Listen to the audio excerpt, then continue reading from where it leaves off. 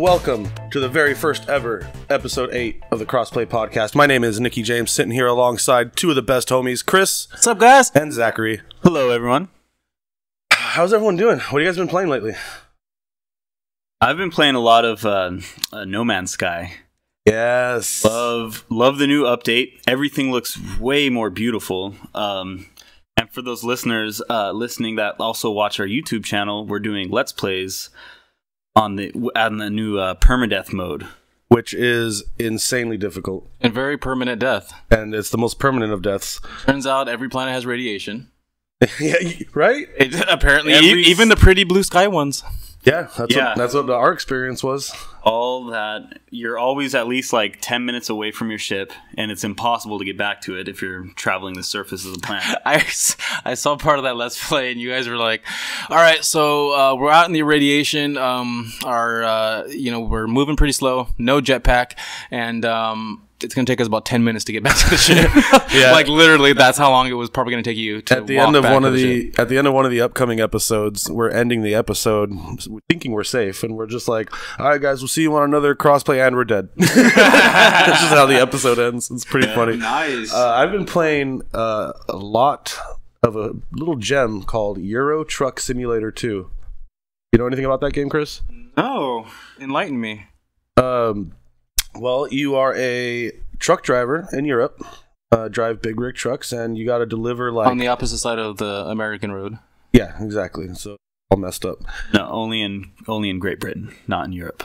Ah, fact of the day. Zach is the clever clogs. So you uh, you're a truck driver in Europe, and you're delivering like bales of hay or almonds or floorboards from like Nice, France to Luxembourg, and you just you just drive a truck, dude. Like Nice. that's it. You I can, can get into that. I mean, you can listen to actual uh, like Polish radio, like live, Yeah. um, stuff like that. What were we? We were listening to Albanian radio. And we weren't were listening to like an Albanian rock station, but it sounded more like uh, like adult contemporary funk or something. Like it was really cool music that we would never hear anywhere else. So it was really cool. It was a really I- fun but game. I haven't been playing anything. I haven't been playing nothing at all. Oh, really? What are you just raising your Just, family? just I've been playing the diaper changing game. Ugh, what's your high score? Um, about four to five in a day. Of that's shitty diapers. Ugh. Oh my god! What are you feeding your kids? I'm feeding him what we Feed grew up on. Ex-Lax? Refried beans. That's why Hot pockets? weenies, That's weenies. A lot of weenies in your Parmesan house? weenies. When we were Um, kids, Dad would add weenies to everything. Yeah, And we thought it was like a, a good thing. I mean, It it, is a was. good It, thing. was a It was good a thing. great But we thought it was like we were eating kings eating beanie weenies. It is. yeah, I beanie still- weenies and then the eggs and weenies and he would also sometimes put weenies on pizza. Been a thing. I did Oh, not. I I, haven't don't tried- remember. That must have been. It wasn't a. It wasn't like a frequent thing. It was when uh, I was like an older teenager. He did that a few times. Yeah. How thin would he slice them? Because Not very thin. Not like like a half inch. No, they were like thickies. Like some thick boys, huh? yeah. I think he would just get really high and probably just want hot dog pizza. Yeah. I could. I you know I'd probably want to tear down a hot dog pizza if I was really drunk or stoned or something. I would be interested in maybe trying it once, but uh, but yeah, I haven't been playing much. Um, but I'm g- I'm about to pick up that that indie title, "What Remains of Edith Finch." It's re- really intriguing. It looks really good, so I'm gonna go pick that up later and What, you guys know how what's that that, game about?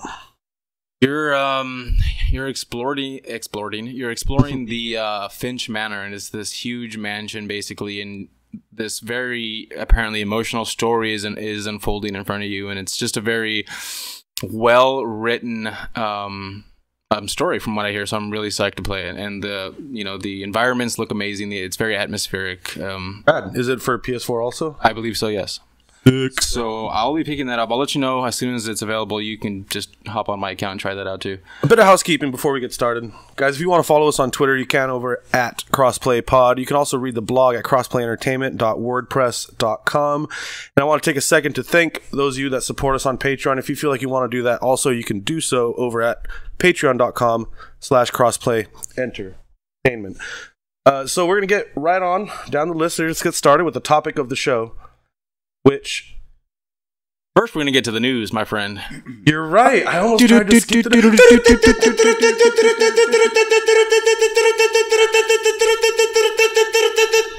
Wow. So, fight doctors everywhere are coming out and saying that Conor McGregor is in serious fucking trouble. like, What do you mean? physical trouble. What do you mean? Not only from, you know, he's not only in trouble for in in a matter of losing the fight, but as well as getting seriously physically injured is what they're saying. Go on. Just because for the fact that he is considered an amateur going up against one of the best in the world, boxing.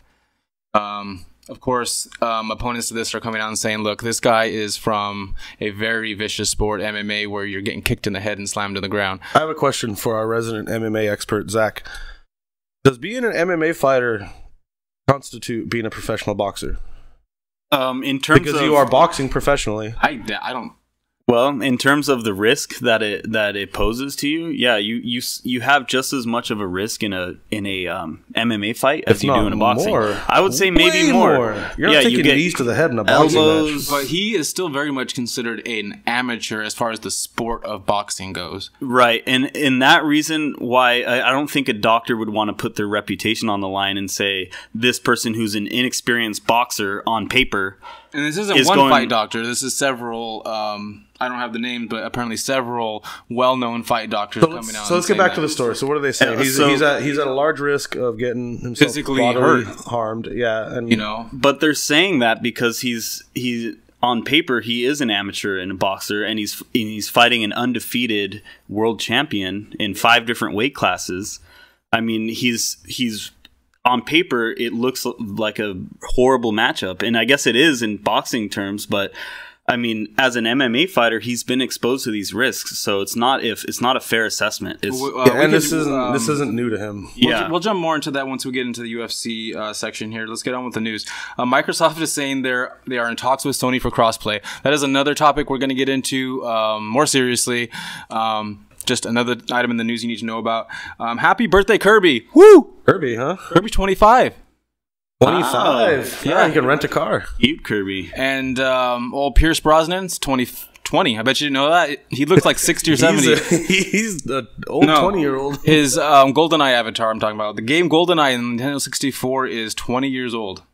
Damn, How old do you feel, Nick? I feel incredibly old. 20. I feel incredibly old. I remember I have very vivid memories of playing that game and throwing around Oddjob's hat like a tool bag. But he's not the oldest person on this list. We have Vince McMahon at 74 years old. No chance. Happy birthday. Um, last bit of news: Microsoft.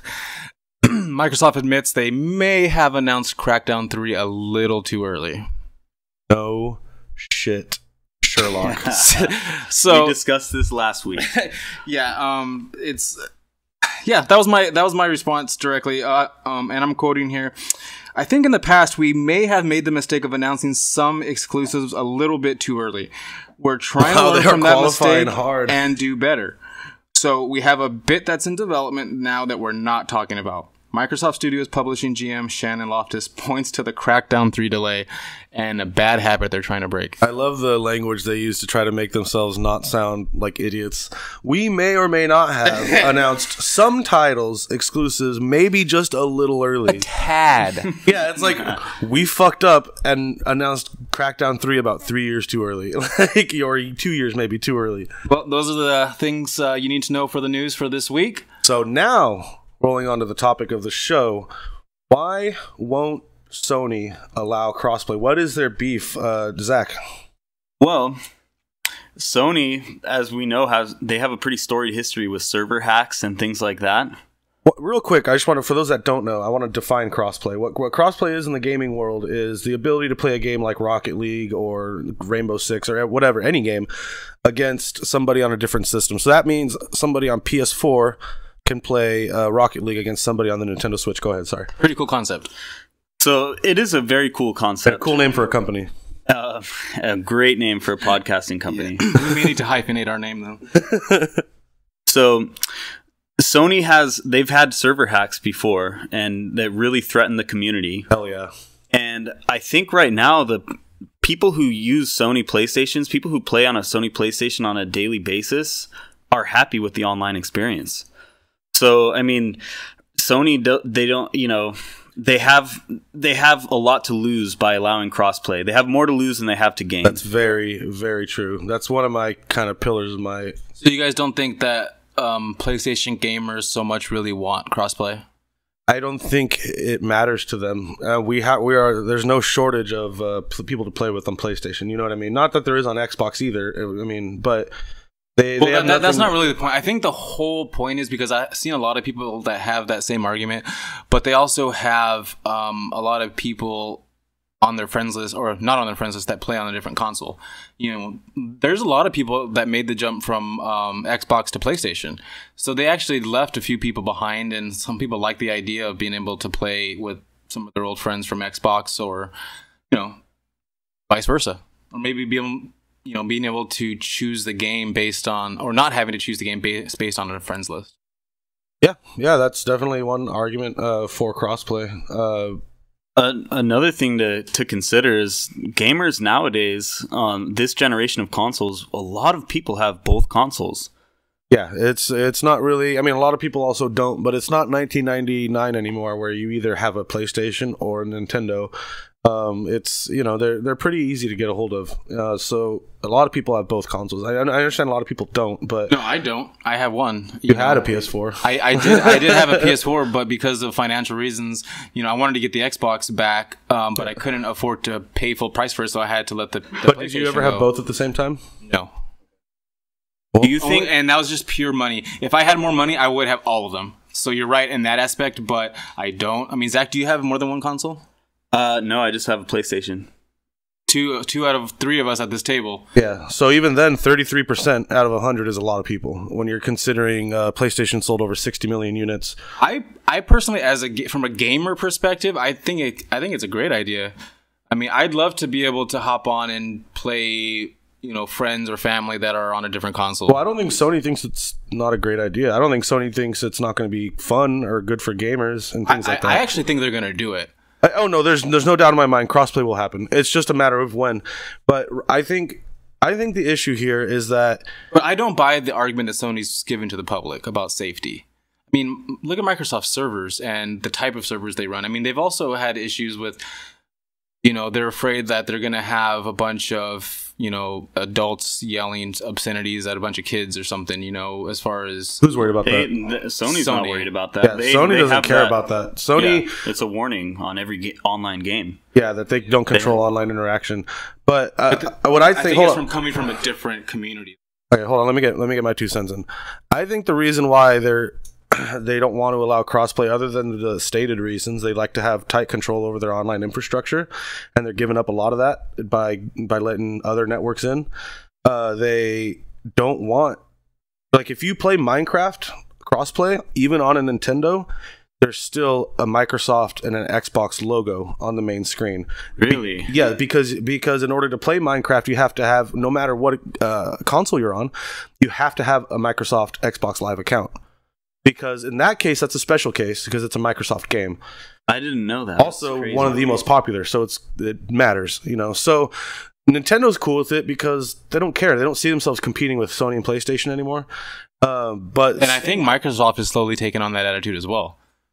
Yeah, and that's kind of what we talked about a couple weeks ago Right, because they're right. getting their asses kicked so hard. It's kind of what Micro- Nintendo did when they were getting beat the fuck up by Sony and Microsoft. Was they were like, people are like, "Oh, what, what's your take on getting beat up?" And they're like, "Oh, we don't, we're not competing with them. What are you talking about?" It's like the "you can't fire me, I quit" notion. It's kind of like what Microsoft is starting to do, just because they've sold less than half the units of of Micro And Sony. that's, true, but I don't think that means that it's going to be a a bad strategy for Microsoft. It worked for Nintendo. Their, do? Nintendo's doing well To do with the Switch. Oh, to- to, like, just basically, as far as the the the new, you know. Microsoft saying we're not doing generations anymore. We're doing updates now, like similar to a PC. Yeah, it's the you Um, can't fire me, I quit method, and that's fine. And I don't think, and I don't think it's bad either. I just think it's a sign of defeat, which is not a bad thing either. It's they're going their own route. That's fine. Defeat in, in what way? Like, I mean, Uh, we already know that they have less sales. Yeah, oh, they That's have that's in less the way than I mean. a half. Yeah, right? that- Yeah, that's the way I mean. That they've even when you're when Phil Spencer, you're, you're head of the what what was it? Uh, Xbox Live Online. He's the head of something. Comes out and says, "Yeah, we lost this generation, and that's fine. And we're just going to focus on what we can do as far as services for our gamers, like backwards compatibility." EA access, you know, whatever, all those little programs they have to, to kind of make up for the fact. But uh, to get back to my point, Sony won't allow it because they don't need it. They they gain nothing. Um, they gain nothing. they, right. they open themselves up to um, attack and they and problems. They um, and, and Nintendo or, and Microsoft even more so has so much to gain from it. Imagine if you were like the second or third place system, and, and of course you're going to fight for a system that allows people from first place to come in and play on your servers because that increases your brand awareness. It increases the chance of people buying Xboxes, and so there's they have so much to gain. Uh, not, not a whole lot to lose at this point, and it's the opposite for Sony. So I think Sony's just like, nah, we don't need it, and I, that's kind of what, what I think on, on that. Zach, Um, also, if you think about the and just looking at the sales, if if PlayStation has over double the sales that Microsoft has, we could assume that they have double the online uh, online uh, players. They have double online players. So if Microsoft all of a sudden gets all the PlayStation users, they have way more people to compete against online. Right. We already have on for those of us who play PlayStation, we already have a, a lot of competition online. Uh, Yeah. Over twice what Microsoft has. yeah. So But my my reason why I think is probably pretty similar to your reason as far as why Sony's not doing it. It's a business decision. Um, but I think Microsoft is looking at it more from a gamer's perspective. Um, no, I think they're like any company. They're looking at it from their wallet's perspective. What do we have to gain from this? Um, and I think they're going to portray it like they care about gamers. Just like when I you don't hear, think they yeah. I don't think they've tried to portray it that way. They haven't tried to portray it anyway. oh, but when they do, they will. You know, wait I till next year's E3. I think it's obvious because they're the ones like making the effort. It's well, I, you know, we don't know that. it. They're it making, seems like they're it. the ones making the effort because they have a lot to gain monetarily, not because they love fans. Has they don't love you? Trust me. Sony I- doesn't. I didn't say they and love Sony us. doesn't love us. but, We're but I- whales to them. But I think it's definitely it benefits the gamer. I think it benefits the gamer, and not doing it benefits the business for Sony. Um, so I think you're right there. But as far as for as far as a gamer's perspective, which is what I always look at this as, um, I think that uh, it's a good thing. Okay, so uh, let's narrow it down here. On, in conclusion, I say they just don't need it and have nothing to gain. What do you say? I'd say they, they open themselves up to too much risk. So What, what about you, Chris? I say they don't need it either, and they do have some, but I think they will do it. All right, good enough. Let's move on to the next topic. Uh, so the next topic, just on the same in the same vein of online Interaction, gaming, yeah. online interaction, I wanted to talk about trolling. Mm, So You're a master troll. trolling. I'm pretty good at it, but but a lot of people have the wrong definition of what a troll is. Yeah, you were talking about uh, the other day about it being an art form in some way. Can you explain that to me? Because I, I don't see it as an art form in any way. Well, it because it, takes it, ta it takes a very uh, skilled person to do it. So what you have to do as a troll, what I, my definition of what a troll is, is someone who poses as though they're part of a certain community, and they say and they gain trust amongst the people in that community, and then say inflammatory shit that makes the entire community look bad because they had already had gained some sort of rapport with them. So I, I just think I always thought a troll was just someone that may go onto a comment section or something like that and just start saying inflammatory shit just just to be a dick. That's not usually that's not that is some form of trolling but it's not it's not that would not be an artistic Well, the way- of doing it But how, how is doing it that way Hold on, hold on. The way that the internet defines trolling is to make a deliberately offensive or provocative online post with the aim of upsetting someone or eliciting an angry response from them. So if we're going by, the, are we going by that definition I of think we trolling? should go by the official well definition. there's there was actually there was a paper published by uh, cambridge university. It was from a, a philosophy professor from the university of toronto. Um, i forget her name but she just posted this uh, hilarious um, article on trolling. And uh, in it she de- she describes the definition of what a troll is but she does it in language like aristotle so for any philosophy buffs out there it's worth it's worth looking up um let me let me get her name really quick you could probably just Google, you know, Cambridge trolling article or I- you know I'm study Goog- I'm- or whatever, I'm on it.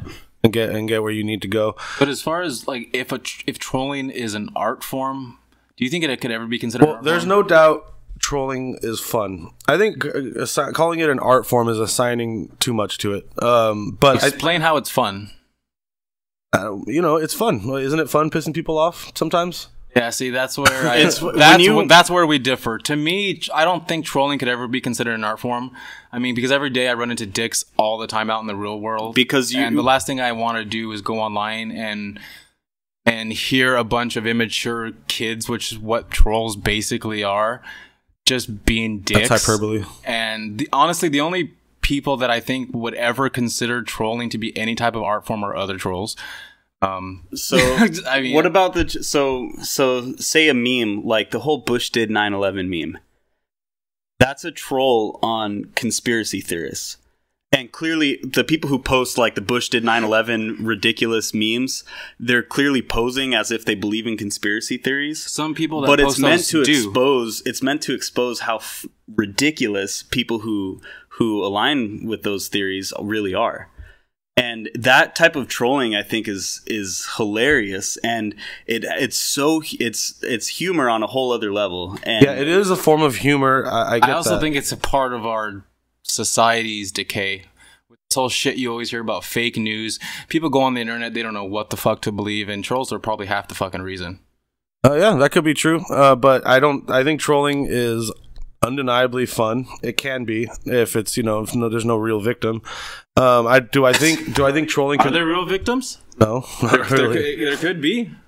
But so You wanna hear like your idea of trolling is pretty uh, extreme. It sounds like Chris. you you It's think just trolling is just someone who goes on and close. spreads shit Yeah, it's just annoying. I don't. I mean, I just find it annoying. let me That's let me point. read this and excerpt pointless. So that means Let me read this and not funny. okay we get it Okay, stop trolling us and let us continue, please. All right, so Rachel Barney is her name, and she did this. Um, let me quote it. So, that trolling is a shameful thing, and that no one of sense would accept to be called a troll, all are agreed. but what trolling is and how many its species are, and whether there is an excellence of the troll, is unclear. And indeed, trolling is said in many ways, for some call troll anyone who is abusive on the internet, Chris but this is only this is only the disagreeable person. Um and the one who disagrees loudly on the blog and on each occasion is a lover of controversy or an, an attention seeker. But none of these is a troll. The troll in the proper sense is one who speaks to a community and as being part of the community.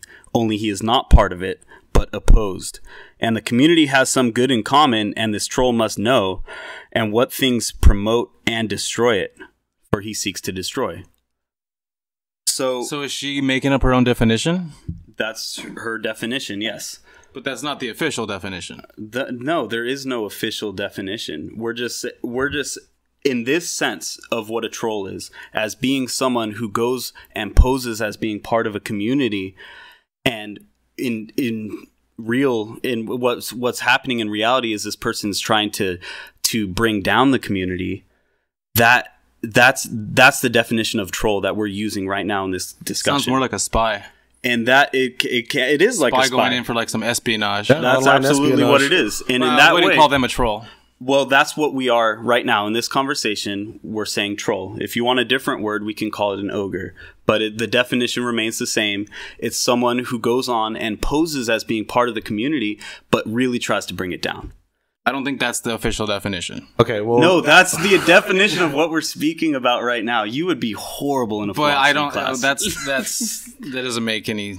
Okay, fine. So a troll is uh, is a person that purposefully goes into a community, even though they don't believe this community's specific philosophy, poses like they do, uh, for the sole intent of bringing down said community or philosophy. exactly. that's a form of trolling. Yeah. That that's one definition of it. That's what we're using for this conversation. Not someone who's abusive on the internet, So what but you're- rather someone who poses. Why why are we calling it trolling though? Because it's only online. Um, because it's it's Why- why, do we call any word any word? All it's all arbitrary. We're just calling it a troll, just because trolls like to fuck shit up.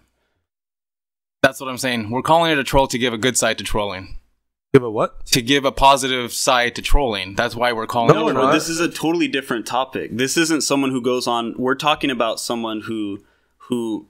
I mean, the thing I defined a million times. That's what we're talking about. Not someone who who goes on and is abusive on the internet, because that type of trolling isn't good. And I disagree with that. I disagree with people who go on and start needless uh, shit talking. Then I, I guess what I'm saying is that I'm against calling what what you're saying, the definition of what you're saying trolling is, Okay. adding that to the definition of trolling That's because fine. I think that gives trolls out there some type of glor- glorification which they should not get because they're annoying. And I think that trolls are trolls and this I think should be maybe called something else because I I just think troll has a bad inco- in, you know Yeah, you guys are both of you are splitting hairs like crazy, to be honest, and arguing crazy semantics. But So we so could let- call oh, it something oh, else. Well, hold on. Let's let's get off that for a second. Trolling can be very fun. If you don't think it's fun, that's great for you. That means you don't think trolling's fun.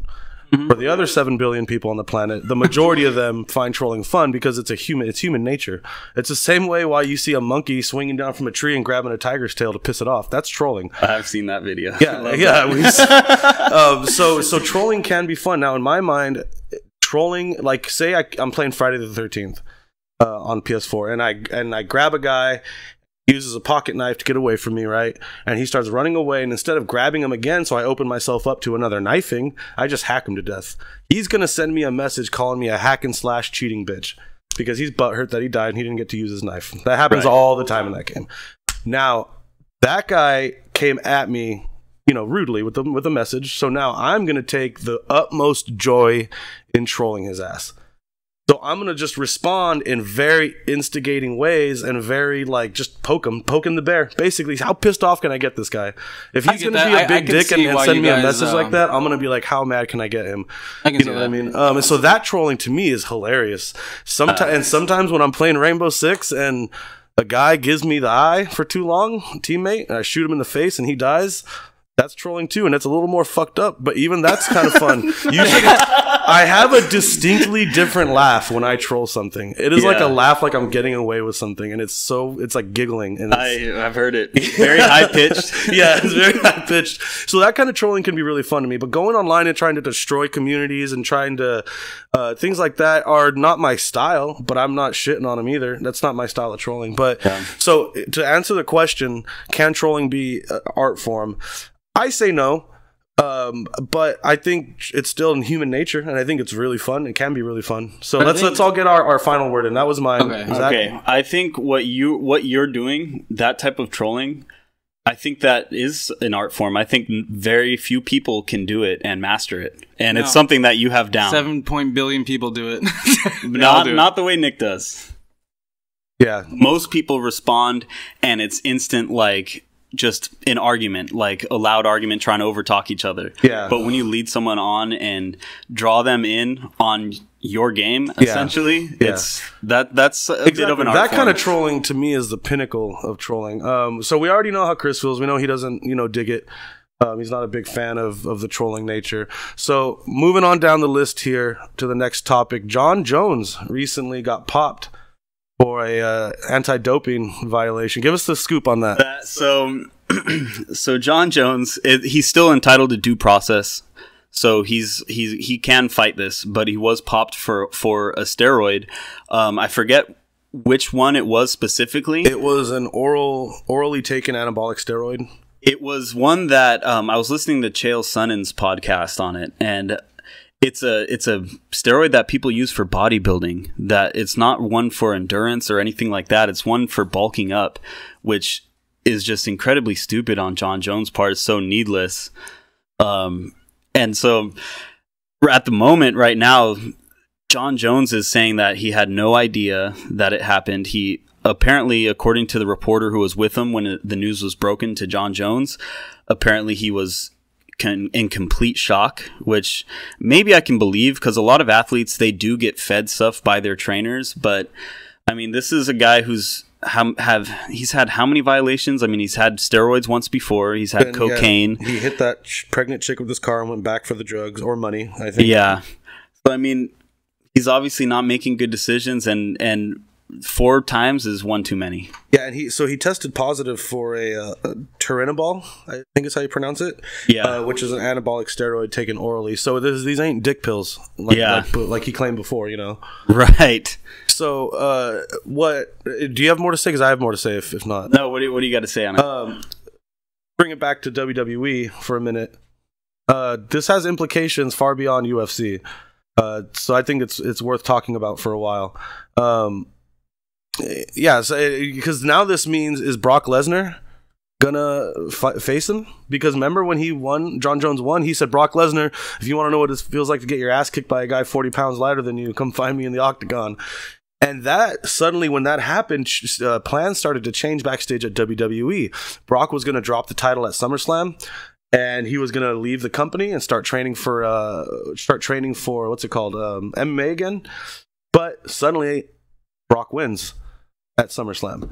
Um, so I think this has far-reaching implications for WWE. Uh, also, you know, because now now that changes completely changes their championship plans. Right, and, and we will Jon- not see Jones versus Brock Lesnar now if he gets uh, banned for another he, five years. If, he, if it comes back as legit, he took steroids, then he's out for four years. So, did they have any in- inside information, and maybe that's why Brock won? Well, that usually happens in the WWE at least. I don't know about UFC. Like for instance, um, they they knew about Roman Reigns testing positive for uh, Adderall uh, about a month before they popped him for it, and they made. They waited, made him drop the title, and you know before they popped him, and that because took a while. But it's a whole different world. From the from what I kind of gathered, the initial feeling was that Brock was going to lose.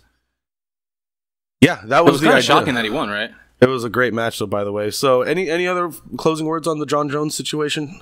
Do you think he's going to get stripped? Well, I think he I th- I think he's going to come back as yeah, he took steroids because he's done it, he's done it so many times before. Right. Yeah. and even when he got caught with stepper. even being caught with cocaine, if he was doing cocaine, you know he was doing steroids at the time too. Yeah. Some of this stuff, like like this specific steroid, what was it called? Turinol or? Turinabol. Like that? Yeah. That is supposed to go out of your system within two days. I mean, how do you get caught with that? Does that mean so, he was jacking, you know, before like two days before the fight? Could have been, That's yeah. insane. Um, so it also could be maybe he was actually planning on fighting Brock Lesnar and wanted to bulk up. I mean, because he took a bulking steroid, not an endurance steroid, not one that athletes normally take. Right. So, um, I mean, we'll see how it all pans out. Right now, it's too early to say anything because he's, you know, he's entitled to to defend himself. So, Jon Jones, you done fucked up. Uh, that was, uh, you know, tough to see. I hate. I, I, I felt so bad for Daniel Cormier in the whole situation. Uh, he had to have been fuming, and I'm sure Dana's face found a new shade of red. Dana White. yeah. Um, moving on down the list here, a forgotten game of the week. Take it away, Zach. All right, so this week's forgotten game is Asterix and the Great Rescue. Have you guys heard of that one? No, and that's what makes it such a sick choice. what what system? Sega Genesis. Okay. Do you so, remember the uh the like the the release of so many 2D platformers during that time? Yeah. Cool Spot, Chester Cheeto. Oh yeah. All the there's a uh, Hook game. Yeah. Robin Williams and all yeah. that. So this was just one of those. This and so Asterix and the Great Rescue. It's actually it's a it's a British game made about a French comic book called Asterix the Gaul. So, do you know what a Gaul is? No, tell me. so a Gaul is actually they're an ancient Celtic people from around the Roman Empire's time. Um, and so this game takes place during that Roman Empire, and the Gauls were living in what's modern day France. Okay. And Julius Caesar is the one who went and conquered them. So these, so the story tells of one particular Gaul named Asterix who's going to rescue a druid. Um, that was a religion they practiced in Gaul was Druidism. You've heard okay, of Druids yeah. and stuff. So Undertaker they, commends them. Undertaker commends them. They take potions. They're known for like making potions and stuff like that. So the the goal in the game actually with each level is Asterix has to get to the end and drink the potion. Oh, it's, oh, okay, it's cool. a two, it's a 2D side-scrolling platformer that is very strategic. So it takes a lot of trial and error, unfortunately. It so sure does. If you play it, you will die a lot. You will get frustrated. But it's it's simple trial and error to, to figure out how to beat each level. it's one of these. I, I played it a little bit just to kind of you know be able to talk about it. But it's one of these games where you're punching and stuff like to, to hurt people, to hurt enemies. But sometimes I don't know if you can control what type of punch he throws. But I was only able to throw these uppercuts that had no range. Right. So it was really hard to, to kill people. But One thing I wanted to, to touch on real quick, and, and you know, what, I don't want to get ahead of you. You're probably going to touch on the music at some point. Well, um, we'll get we'll get to the music. Yeah, Yeah. I'd, I'd like to hear your opinion of it because I really like the music. awesome. Yeah, But um, going back to your to your melee attack that he has, if you go if forward in attack actually has a little more range than standing still in attack. That's something I realized because I would go up to enemies and try to get as close as possible Yeah, right, and and, to test the range. That kind of sounds like Altered Beast. Yeah, a bit. Do you remember? Yeah, a bit, but it was a lot more cartoony and. Uh, It- Well, I mean the fighting style, uh, Yeah. the punches and kicks. Yeah, you also have ranged attacks. You have uh, you could throw ex- exploding bombs. You could throw clouds to get if there's a ledge that's a little too high to jump to. You could throw a little cloud and jump on that, and then get to your goal. It's it's really strategic and it's a lot of fun. But That's a really cool subgenre we didn't see a lot of back then. Was not just the side-scrolling 2D platformer, but the side-scrolling 2D platformer beat 'em up. You know what I mean? Yeah. Like we saw Streets of Rage and Fist of not Fist of Streets of Rage and Fatal Fury, which were side-scrolling beat 'em ups. Yeah. And we had Mario and things like Contra, You had Batman Returns. You had yeah, Batman which were series. side-scrolling uh, like platformers. But then you you had very few games like Sunset Riders or like Asterix that were side-scrolling platforming beat 'em ups. It mixed all three, and Asterix did it geniusly. Do you Yeah. remember Battletoads? Yeah, I Similar. love uh, Battletoads. yeah. Battletoads, you have that on Xbox, don't you? We do. Yeah. on the rare replay. So, um, getting back to to Asterix, um, I just wanted to say its its lineage. It's it was made by Core Design, and for for those of you who don't know, they were bought by Eidos, and they were the original developers who made the Tomb uh, the Tomb Raider Oh series. yeah, right. Yep. So so it has a good it has a good uh, pedigree. pedigree absolutely and um, it's it's just one of those games that just kind of got forgotten uh, for no reason I, other than maybe it was a little too difficult Just i don't time, know Yeah. It's really cool. Yeah, it's one of those games that just got lost in the mix of the time. It was, you know, with all the games that were out that were similar around the time. It just, and it was on the uh, less popular console, the Genesis. Right. Um, so it, it makes sense that it was forgotten. But when you told me last week that you thought of that as your game, I was. I was so pleased because like I'd, I'd never heard of it, and when I looked it up, it was one of those games that just looked like something I would have played the hell out of when I was a kid. oh i Yeah. i played nonstop me and my sister maggie played it all the time and it was one of those few games that she was actually better than me at Did and i you think it could have been the age Did you ever beat it? Um, Maggie did. Yeah, Maggie was Maggie was really good at it. It was really surprising. it was one of her few good games, but she's good at strategy and stuff like that, and that's that's what a lot of it was. So, if uh, did you have anything else on that? So, if you want to go check out Asterix, it was on the Sega Genesis and the Sega Master Drive, um, or Mega Drive, or whatever the, Genesis was called overseas. Yeah. Um, it was on that. You could you could get it if you could find it there. There you, there are ways to play it online and stuff. Also, it's a really fun beat 'em up, and the music in it is fantastic. For uh, one of the best platformer music I've heard. Yeah. So, moving on down the list now, Chris, take it. Yeah, so I got a question for you guys. It's um, about the Xbox One X and the PS4 Pro. Do you think it's possible that some people's experience with the PS4 Pro has maybe soured some to ordering Xbox One X? I'd like to go first on this one. Go ahead. Um, Uh, here, let me give you my line of thinking first. Go first before you go first. Okay, I'm just no, kidding. go ahead. I'm just kidding. I'm just Well, kidding. Go okay. ahead. Well, I'm, this is what I've been hearing. Some of the rumblings. Um, you know, the Xbox just recently released um, a long game, a long list of games that are getting the enhanced um, upgrade once the One X comes out. Um, some some good games, you know, Fallout, Tomb Raider, a lot of good ones on there.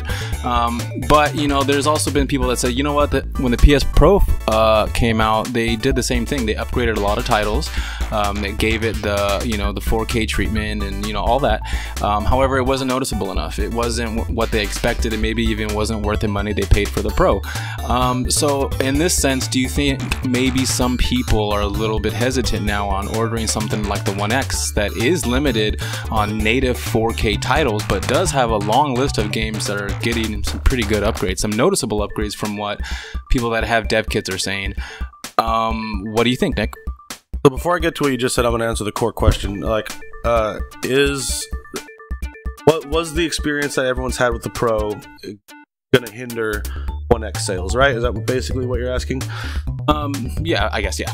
Or soured public sentiment, right?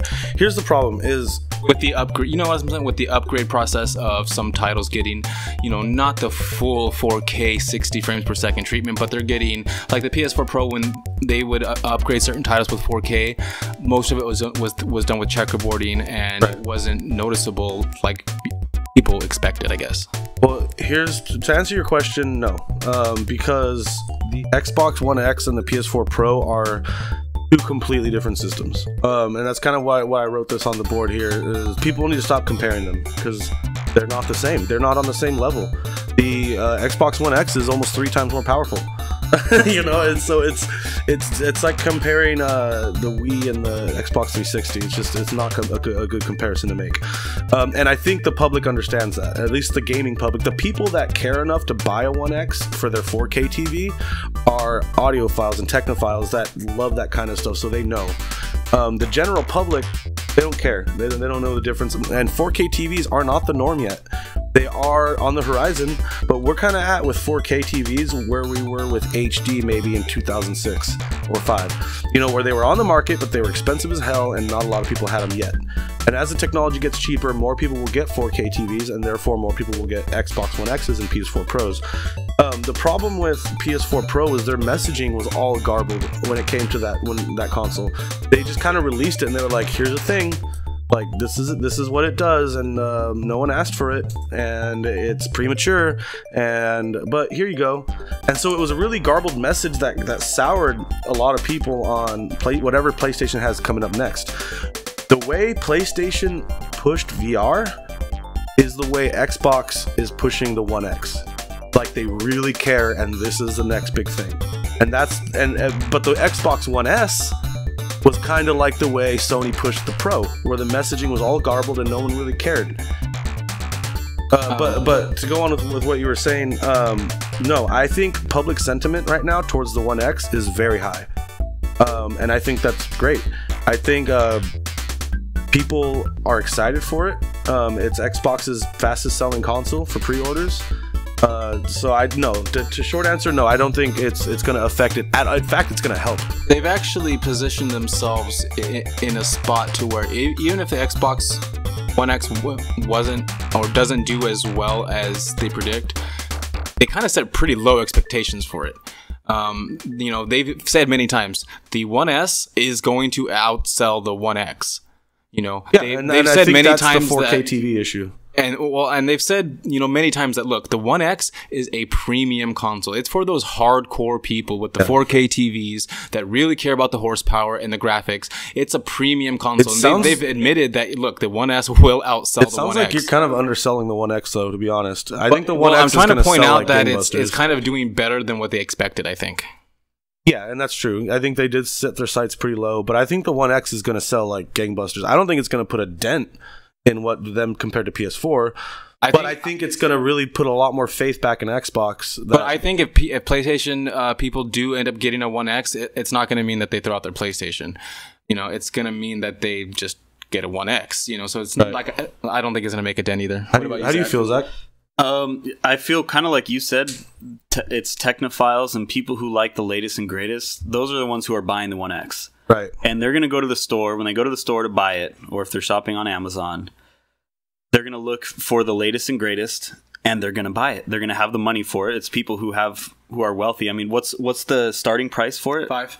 Uh, four ninety nine. Four ninety nine. So starting at five hundred bucks. So these are people who have It's- five hundred bucks to spend. Well, it's starting at the price that the Xbox One started at, and it's six Yeah. times as powerful. That's just because Yeah. technology's gotten a lot cheaper, and so it's good for gamers and good for them. So looking at the uh, some of the specs real quick, uh, the CPU on the Xbox One X is eight custom x86 cores, clocked at 2.3 gigahertz. Uh, the uh, PS4 Pro is only running at 2.1 gigahertz, and it's a uh, AMD custom Jaguar chip, so they're not made in house by Sony. Um, the RAM, it's got 12 gigs of RAM, opposed to the PS4 Pro's 8, which makes a world of difference. That's a big difference. That's an enormous difference. but I think to do something like a native 4K on a game, you need that. yeah, it's it's necessary. And, and to be honest, as far as a 4K um, console goes, Xbox One X is pretty weak, but it's way better than what the Sony's got on on on tap. And whatever these two companies come out with next is going to be, I think, proper 4K 60 frames, what everyone's been wanting. Kind of like how the PS4 and the uh, Xbox One were what everyone wanted before. True 1080p, mostly 60 frames per second gaming. I've seen people guessing that we're gonna get a freaking upgrade to the One X by next year, by 2019, Oh, that's crazy. a year from now. I think so. I think Microsoft is really shooting themselves in the foot by uh, dividing up their SKUs like this. I think it's so much more simple to be like, this is our console. I think I think two is too much with the PS4 and PS4 Pro. I think it's just it sends such a mixed message. But do you have anything else to say? As long as they all play the same games, though, right? No, I just I don't know why PS4 I don't know why PlayStation even came out with it so early. I don't I mean they just gave Microsoft something to measure themselves against. yeah, exactly. And so now they could come out with something oh, we'll put 12 gigs instead of 8. And and if you remember correctly, at PSX, I think last year when the Pro was announced, Microsoft the next day said, "Okay, we're delaying our next console. We're gonna, now we're going back to the drawing board." And that was so stupid of Sony because now Xbox was like, "Oh well, they got eight gigs, twelve gigs. they have fucking AMD Jaguar. We'll do a custom made one, 2.1, 2.3 gigahertz." So and that's what they did, and they effed themselves. Sony effed themselves hard. But I really PS4 do Pro. see if the Xbox One X does well, if it keeps on track to do doing what it's doing, I really see Sony stepping up the PS5 development, right. rushing it up. I, I think. So, good topic, fellas. Moving on down the list so we can get the show rolling. Gentlemen, start with Christopher. What video game do you wish you could experience for the first time again? Easy. I, can I guess what you're going to say? Yes, and you're gonna guess right. The Legend of Zelda Ocarina of Time? Yes, sir. Go on. There's so much magic in that game. Yeah, man. it is a truly magical you just game. remember, especially when you're a kid, and magic is just more evident. Right, yeah. I wish I could replay it, and I wish I could be 10 years old and play it again. I remember when mom bought it for us. Yes, for Christmas time. and I, I think she got you the game. Yeah. and, but she got like special edition or something. So she got you the game, but she gave me like the T-shirt and the CD that came with it. Dude, I came up because that was a dope shirt. That was a dope CD. shirt.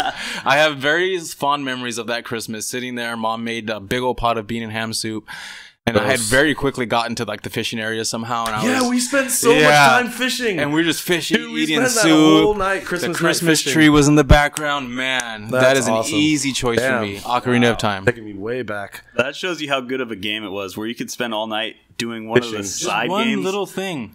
I mean, we How long trying did we? How long did we uh, spend just taking that guy's hat off his head with the rod and reel? You know?